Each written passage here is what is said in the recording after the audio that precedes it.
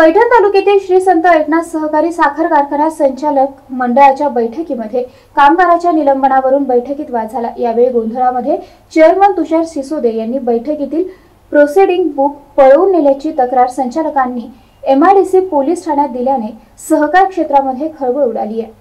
तालुक्यातील विविध कारणाने चर्चेत असलेल्या संत एकनाथ सहकारी साखर कारखान्याची संचालक मंडळाची मासिक बैठक सोमवारी दुपारी चेअरमन तुषार सिसोदे यांच्या अध्यक्षतेखाली आयोजित करण्यात आली होती. या बैठकीमध्ये उपस्थित असलेल्या संचालकांमध्ये विविध भंगार चोरी शिला अतुल टेक कंपनीकडे असलेली थकबाकी आणि वसुली आदी विविध मुद्द्यांवर चांगलीच खडाजंकी झाली. चेअरमन समर्थक आणि विरोधक संचालक मंडळातील संचालकांनी मुक्तपणे एकमेकांवर आरोप प्रत्यारोप चांगलेच रंगले.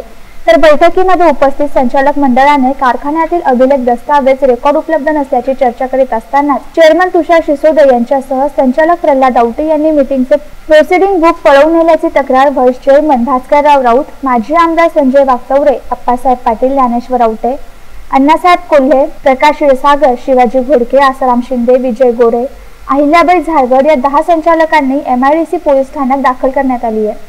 Dadasaheb Ghodke M C N news Paithan.